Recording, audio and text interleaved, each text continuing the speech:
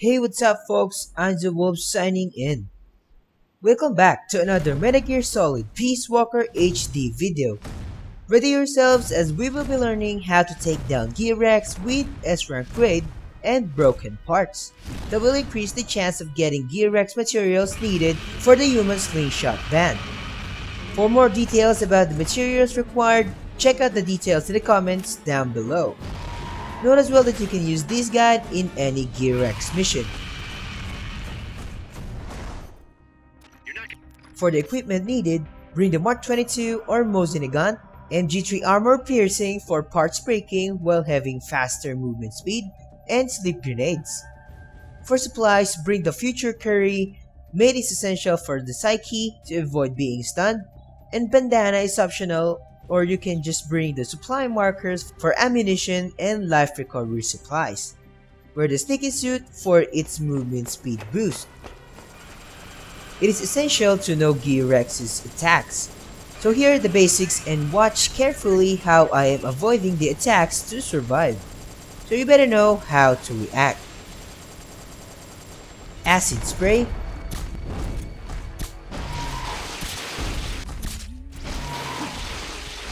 Lethal Church Attack Thorn Squid Stun